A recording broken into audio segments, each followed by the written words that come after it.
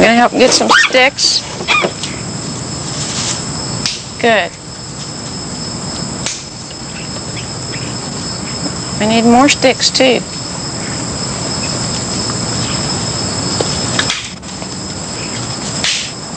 I have a lighter in my pocket if you need one. Yes. You can get it out. Hope I have a lighter. You can use the lighter to start the fire. He may look like a chimpanzee, but Kanzi is a bonobo, a closely related species from the forested Congo region of Central Africa.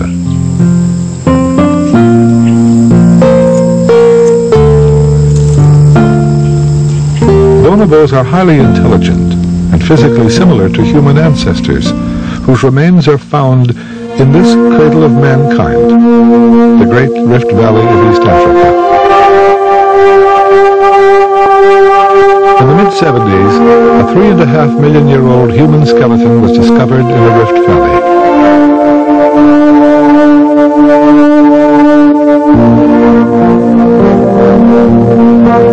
She was named Lucy for the Beatles song Lucy in the Sky with Diamonds, which happened to be on the radio at the time.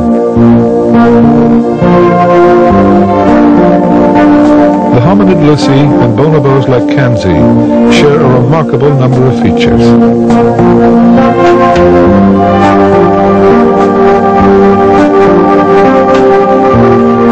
Their limb proportions and the way in which they walk are similar.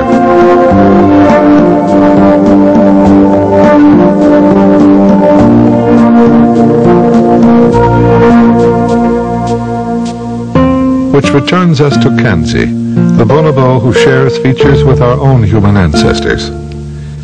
Working with Kanzi sheds light on our evolutionary path out of ancient East Africa to the full global sweep of the whole modern world.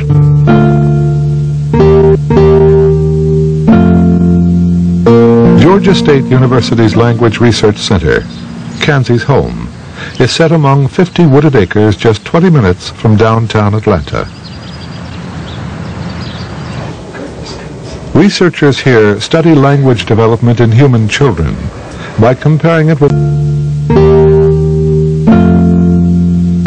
Georgia State University's Language Research Center, Kanzi's home, is set among 50 wooded acres just 20 minutes from downtown Atlanta. Researchers here study language development in human children by comparing it with language development in our close relatives, apes.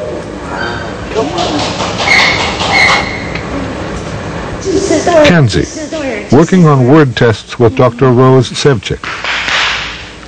Let's listen some more. Turn this way. Yes, very good. Kanzi is distinguishing spoken words. First, the researcher says a word.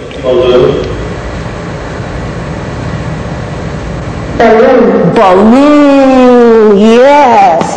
To answer, Kanzi presses a picture symbol, which triggers an electronic voice. These 256 symbols bear no visual resemblance to test words, which include adjectives, verbs, even wishes and emotions. Potato. The board includes abstracts like good and bad. Some human adults working with Kanzi have taken a year to memorize these symbols and master the board. House. Uh, rock. Rock. Good, Kanzi. Candy. Chicken. Chicken. Sugar. That's right. Thank you, Hansi. Kanzi, hot dog.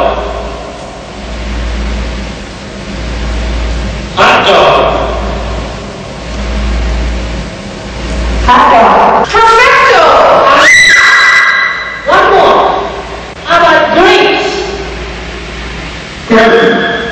Success!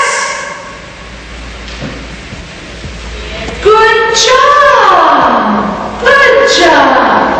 And then get some more that sound? Yeah.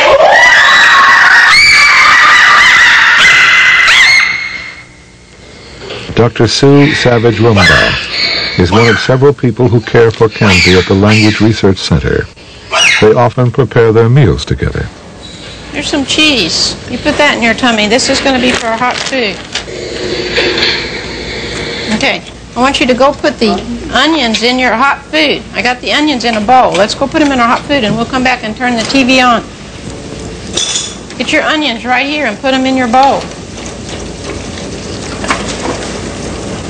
Look, you spilled some of them. Savage Rumbaugh has monitored Kanzi's language development since soon after his birth, 13 years ago. Put some water in the pan for our noodles. More water. More water.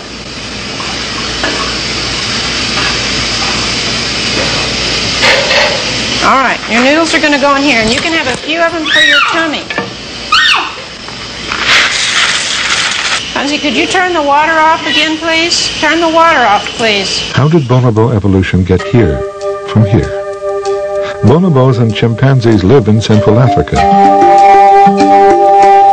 But whereas chimpanzees range from rainforest to dry savanna, bonobos are restricted to dense jungle, virtually encircled by the arcuate course of the Congo River.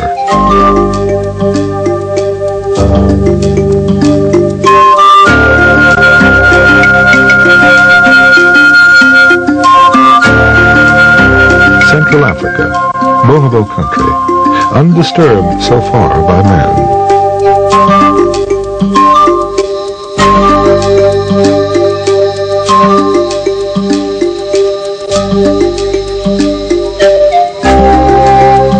They're smaller than chimpanzees and very gentle. Together, bonobos and chimpanzees are human beings' closest living relatives. Research into chimpanzees' language acquisition began years ago. Vicky, do this. Do this, Vicky. Do this. No, no, do this.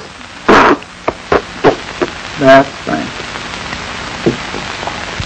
In 1947, American psychologists Keith and Catherine Hayes began teaching human speech to a young chimpanzee called Vicky.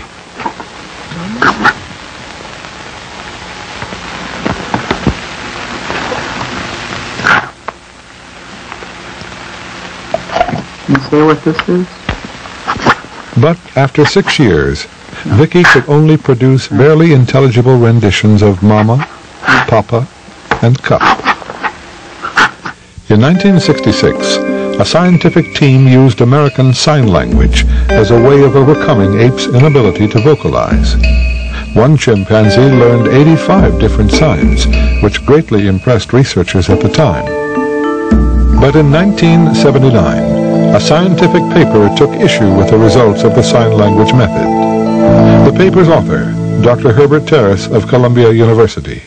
what I saw was that the chimp was more or less mirroring or shadowing the teacher signing.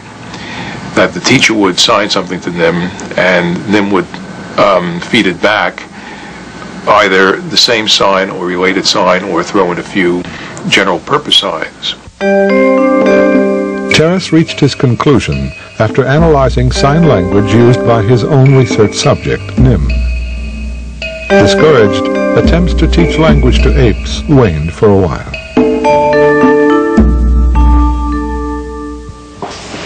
However, researchers at Georgia State pressed on. Fosty's getting ready, Shelley. Dr. Savage Rumbaugh tried a method whereby apes could not imitate humans.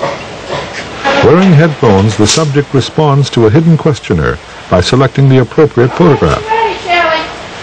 Austin, find the apple.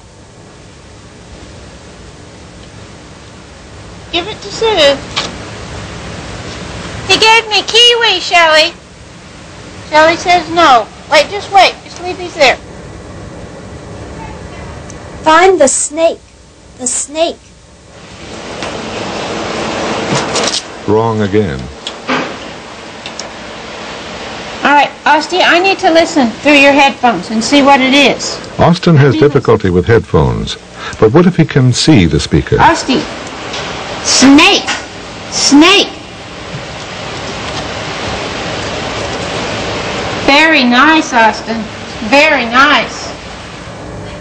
Find the apple. The apple. Once more with headphones, and once again, wrong. No? All right. Let, let me have your headphones and let me listen to Shelley. Now, what happens when Austin hears the question face to face? Apple, apple, apple. Very nice, Austin. In the end, the results of similar tests with Austin proved inconclusive. Then there's Kanzi. Does he really understand what he hears? Cons